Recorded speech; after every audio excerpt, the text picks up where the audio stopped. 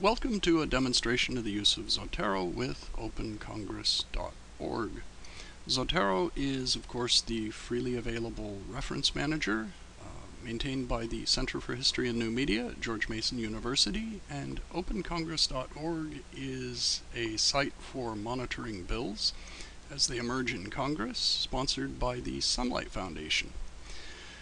Zotero is a Firefox plugin, and so if you haven't done so already, uh, to replicate the effects you see in this demonstration, you'll need to have the Firefox browser installed. And Zotero itself is a plugin for the Firefox browser, which is normally installed via the main project site, which we see here. We would visit the Download Now button and follow the instructions that we find under that.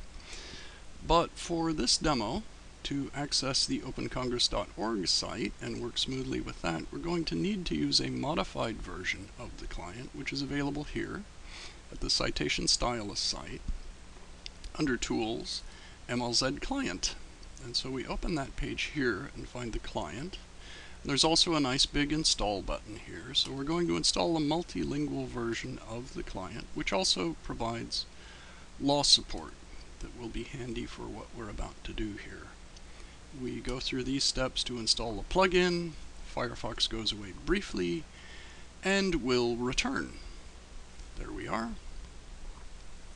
So now we have Firefox and Zotero running, and we want to visit the opencongress.org site, which is here, and find ourselves a bill to refer to. We'll take the Next Generation Television Marketplace Act of 2001 an act submitted to Congress by Congress Senator from South Carolina, Jim DeMint, and we want to look at the official bill text. Here we have the text of the bill, and we can scroll down and comment directly on the text if we wish to do so. Um, but for use with Zotero, we would click on the icon that we find here, the folder icon in the address bar, and fetch a provision. And we do that like so. And you see down here on the right part of the screen, there's a bit of activity, and we see that we've gotten a large number of provisions. What is all of that about? We wonder, so make that go away and bring up the Firefox browser, uh, bring up the Zotero client either by clicking on the Zotero icon or by clicking Control Alt Z and we see that we have a number of items here. One of the items is the actual act itself, the section 2 of the act, um, and we have a number of other provisions. These are the related provisions, sections of the U.S. Code that would be modified by this legislation. And the amending act here and the related provisions here are cross-linked so that we can easily navigate between the two. Each of the items uh, contains uh, either an image or a link. The amending provision itself is linked to the text of the provision, which we can see here. This is section 2 of the amending act which refers to a number of sections of the US code that would be affected. And bringing Zotero back here, under the US code provisions, we have links that will take us, if we click on them, to the relevant sections of the US code in the Cornell LII uh, repository. And so if we wish to read the provisions of the Act and then quickly identify what their effects are in legislation, we can do so by those means. Now, if we wish to read this Act, analyze it, and then produce a memo or an article or other content that cites into it, we would want to do that in a word processor. And in order to make that work smoothly, we will want to install a word processor plugin and the multilingual client uses the same word processor plugin as Zotero proper. So we return now to the Zotero official site, click on the Download Now button, and scroll down to the word processor plugins for Firefox and click on that link. And the word processor plugins for my word processor that I'm going to use in this demo is LibreOffice, so we click on that. Again, we allow, and we will be invited to install and to restart.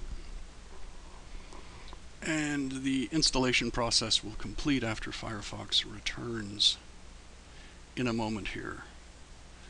There we are. So now we have the Firefox uh, plugin installed and it's offering to complete the installation uh, by installing some auxiliary software in the LibreOffice uh, installation itself. First it finds where that's located on the system as it happens, I already have this, uh, the additional components installed, so I'm going to cancel here. If this was a first time install, and I would click next, and then you would wait for a few minutes while the relevant software is installed. We're going to move on. Oops, cancel, and OK to cancel to make it go away. Now we should be ready to look into a document, which is here, and we're going to put some citations into the memo that we write about this particular piece of legislation. The first thing we need to do is select a citation style. And the citation style that we want to use for this is the Uniform System of Citation, which we don't have in the list. So we're going to return to our browser and return to the citation stylist site and go to styles and find the uniform system of citation style which is Wisconsin court style which I've named in uh, given this name for uh, trademark reasons and if we click here while we're in Firefox we will install the, the style so now the style should be installed and ready to go let's see if we can pick it up back in the word processor. So we go here, we select styles, and we scroll through our list and there it is, MLZ Wisconsin Court Style. This is quite a large style, it's quite complex, it will take some time to install, but in a few seconds we should be going. There we are. And now we want to use this style to cite into the document. So I click on the Insert Citation link, and I get this, and here's the familiar display of our statutory provisions, which is here. And as you can see, we have a correctly formatted uh, Uniform System of Citation cite to the section 2, which is the section that we downloaded. If we uh, cite other provisions, the one of the U.S. Code provisions is cited in the legislation, we also get a correct cite to this, US code is not entirely correct. We'll be revisiting that in a second here. And we'll do a back reference to another section of the Act, another section of the code, and we find that we get a correct, correctly formatted back reference.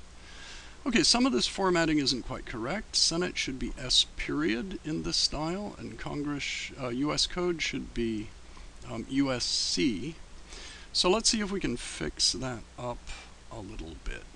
Um, to do that, we need another facility from the citation stylist site, and that is abbreviations for Zotero. So we're going to install the abbreviations plugin and allow this. We're going to install now and restart and when Firefox returns now, there will be uh, the uh, Zotero instance, the multilingual Zotero instance that's running on the browser.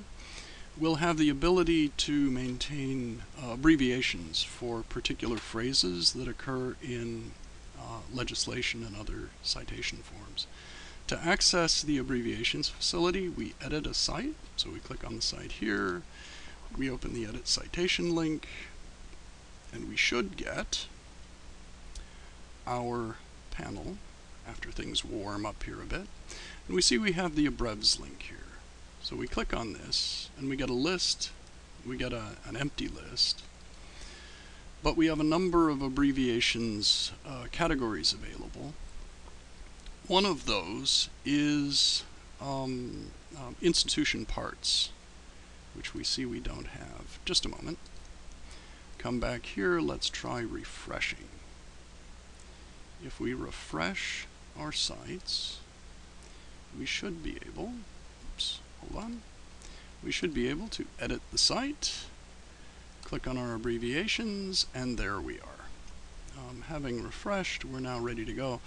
These are jurisdiction categories, and we only want this abbreviation to apply in the U.S. jurisdiction, so we put an S there. And U.S. Congress in citations, American citations, should be abbreviated CONG.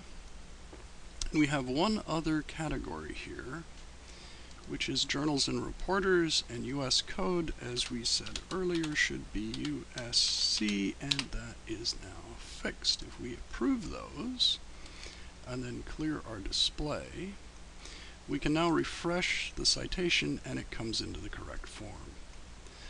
Um, this uh, shows, uh, so we have seen, uh, if we return to our site of interest, um, we have seen that we can access the legislation um, available on the Open Congress site.